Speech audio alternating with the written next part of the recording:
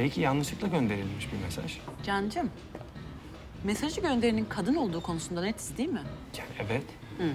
Okey. O zaman neden Murat abi diye kayıtlıydı?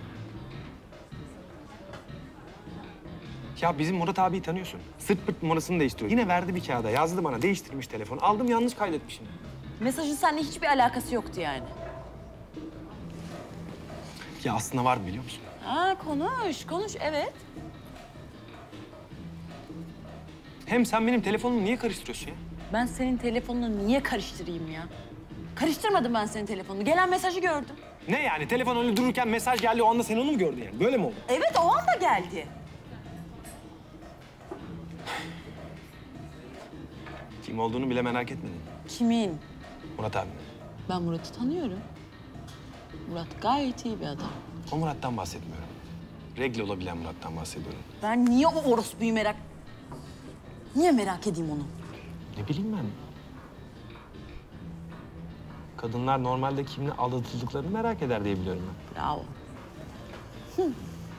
Sonunda beni aldattığını kabul etti. Saçmalamaktan sıkıldım diyelim. Onu da bin kere tembihledim. Tehlikeli bir şeyler yazma diye beyinsiz. Ya bir ilişkimiz falan yoktu aslında daha yeni tanışmıştık. Yeni tanıştığın kadın eee, o regli olunca üzüleceğin kanısına nereden vardı mesela?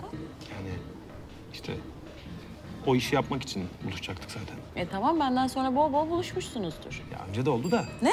Ne? Ne? Ne ne ya? Ne diyorsun ya? Seks. Tamam mı? Dünyada fuck buddy diye bir kavram var. İnsanlar sevişirler sonra arkalarına bakmadan böyle ayrı yönlere giderler ve bir daha birbirlerini görmek zorunda olmazlar. Ve dünyanın hiç ama hiçbir yerinde bunun için ciddi giden bir ilişki bitirilmez. Bizim de seks hayatımız çok güzeldi. Neyine yetmedi ya? Ben de o günleri özlüyorum. Madem özlüyordun niye gidip Murat'ı becerdin? Başka bir arzunuz var mı diye soracaktım ama. Yok.